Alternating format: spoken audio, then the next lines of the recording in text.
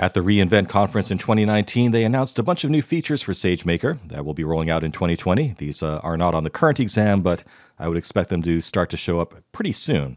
So good to know about them.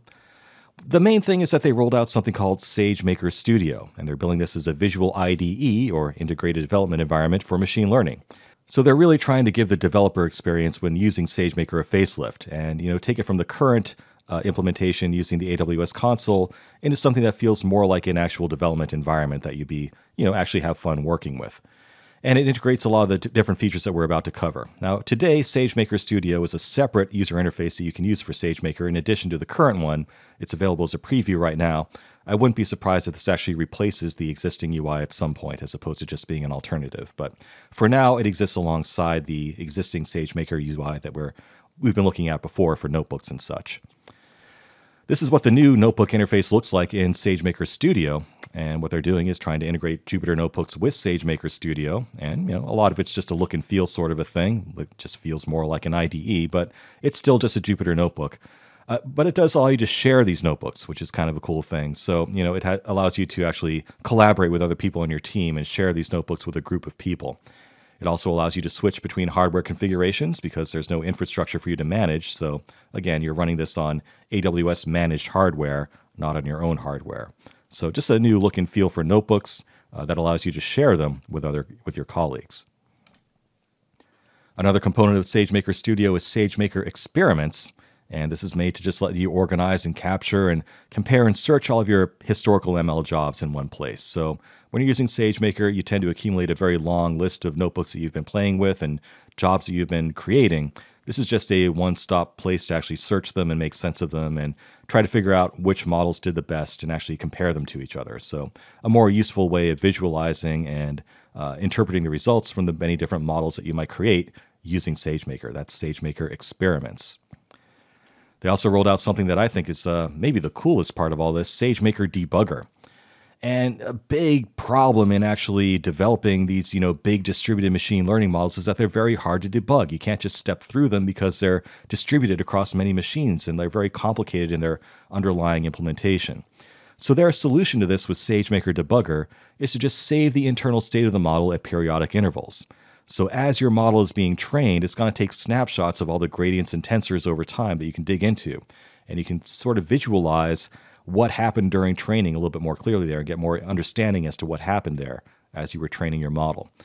You can also define rules for detecting unwanted conditions while the training is happening. So you can say, okay, if this uh, gradient goes greater than this value or this tensor does this weird thing, I want you to actually flag that and fire off an event to tell me about that immediately. So for every rule that you configure, a debug job will be run. And if that rule actually gets found, it will log it and fire a CloudWatch event when that rule is hit that will allow you to do anything that you want to in response to that event. So that's SageMaker Debugger. It's a, a very useful, potentially uh, debugging tool for figuring out what's happening during the training of your model and digging into problems that might be arising there. So that's that's a good thing. Another piece of SageMaker Studio, SageMaker Autopilot, and this is basically AutoML in action. So you might have picked up during this course that a lot of machine learning and AI is just trial and error. You know, there's really no rhyme or reason to it. It's just a matter of throwing a bunch of spaghetti on the wall and seeing what sticks in terms of what model performs best for a given problem and what hyperparameters uh, work best for a given model, right? A lot of it's just trial and error, experimentation. So SageMaker Autopilot automates that for you. So it will automatically try different algorithms, see which, which one works the best in your data.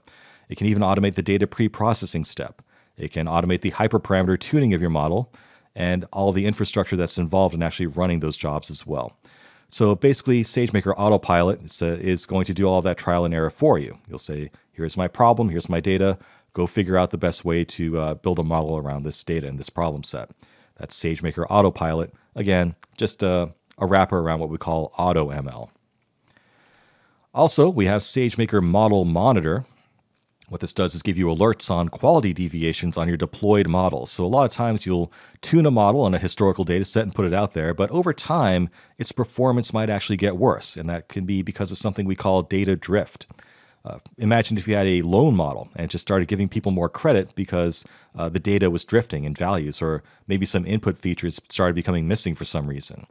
Model Monitor will let you alert on that and actually let you know when that's happening. So as the quality of your results are changing over time, you can visualize that. And if you actually do have data drift happening in your input data, Model Monitor can tell you about that proactively. No code is needed for this to work. You just uh, set it up in the SageMaker Studio and it will just work.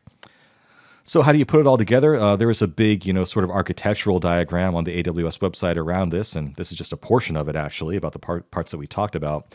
So SageMaker Studio is sort of this umbrella for this entire new system, and it includes SageMaker Autopilot, which can automate stuff that involves SageMaker notebooks, and also SageMaker Experiments, SageMaker Debugger, and automatic model tuning.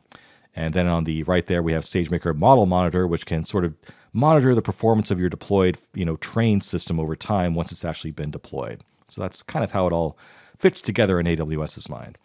Again, SageMaker Studio is a new thing for 2020, currently in preview. Um, I wouldn't expect it to be on the exam right now, and I'm, I'm, recording this in early 2020, but I would expect it to start to creep in on future iterations of the exam. So, definitely a good thing to know about. And if you are going to be using SageMaker, it's something you need to know about.